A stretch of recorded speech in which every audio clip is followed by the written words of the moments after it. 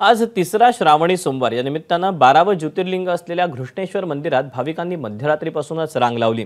रात्री आरती झाल्यानंतर दर्शनासाठी मंदिर जे आहे ते खुलं करण्यात आलं.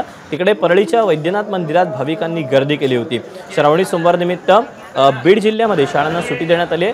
दुसरीकडे नाशिकच्या त्र्यंबकेश्वरमध्ये पहाटेपासून दर्शनासाठी आणि ब्रह्मगिरी प्रदक्षिणेकरता लाखो भाविक त्र्यंबक नगरीत दाखल झालेत. सलगच्या सुट्ट्यांमुळे नाशिकमध्ये भाविकांनी गर्दी केली होती. रात्रीपासूनच नाशिकच्या ग्रामीण पोलिसांनी त्र्यंबकेश्वरमध्ये बंदोबस्त तैनात केला आहे. तसंच प्रभू नागनाथांचं मंदिर भाविकांनी गजबजून गेलं होतं. त्यामुळे एकंदरीतच बम बम बोले की जय आणि श्री नागनाथ महाराज की जय अशा जयघोषानं संपूर्ण परिसरामध्ये भक्तिमय वातावरण आणि चैतन्य पसरलेलं आहे.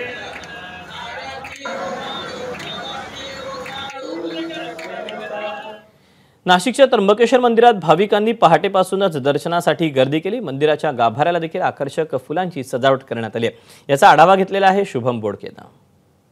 बारा ज्योतिर्लिंगांपैकी एक महत्त्वाचं ज्योतिर्लिंग म्हणून त्र्यंबकेश्वराची ओळख आहे. मी सध्या त्र्यंबकेश्वराच्या मंदिराच्या बाहेर आहे. आपण जर गाभाऱ्यामध्ये बघू शकता या ठिकाणी आज श्रावणी सोमवार असल्याने मोठ्या प्रमाणात जयदी विधिवत पूजा त्र्यंबकराजाची सकाळी पहाटेपासूनच सुरू आहे. आपण जर बघितलं तर या ठिकाणी मंदिरामध्ये विविध फुलांनी हे संपूर्ण मंदिर जे आहे ते सजवलं गेलं आणि आपण जर बघतो या ठिकाणी विधिवत पूजा संपन्न होऊन सकाळपासून भाविक या ठिकाणी दर्शनासाठी मोठ्या प्रमाणात गर्दी करत आहे मंदिर प्रशासनाच्या माध्यमातून देखील प्रत्येक भाविकासाठी या ठिकाणी आपण बघतोय योग्य त्या उपाययोजना आहेत त्या केल्या गेल्या जात आहे आणि आता सध्या गाभाऱ्यामध्ये जर आपण बघतोय तर विधिवत पूजा आणि नैवेद्य आरतीचा जे आहे ती संपूर्ण तयारी आता सुरू असताना या ठिकाणी भाविकांना दर्शनासाठी आणि आरतीला या ठिकाणी म- मंदिराच्या गाभाऱ्यात या ठिकाणी आता थांबवलं जात आहे कॅमेरामन मयूर बारगेचेसह शुभम बोडके एबीपी माझा त्र्यंबकेश्वर नाशिक.